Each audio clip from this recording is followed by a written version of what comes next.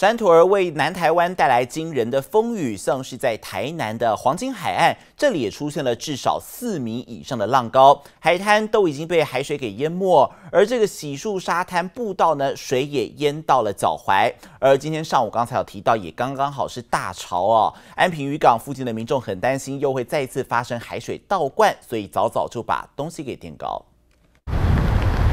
台南沿岸一片灰蒙蒙，完全看不出来这里是黄金海岸。山头来袭，一早岸边已经掀起至少四米以上的大浪。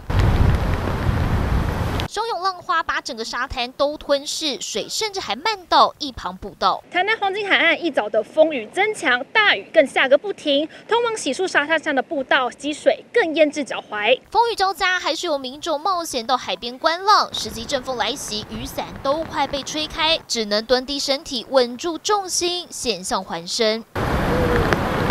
周四南部风雨明显再增强，又适逢大潮，安平渔港前天就淹了至少三十公分，海水上午已经跟码头齐平。台风天每年都会淹到码头啊，浪大就淹到这里了，坐到上面呢比较高的地方啊，只好把东西都垫高，减少损失。同样淹怕的还有安南区，家家户户早早用沙包挡在门口。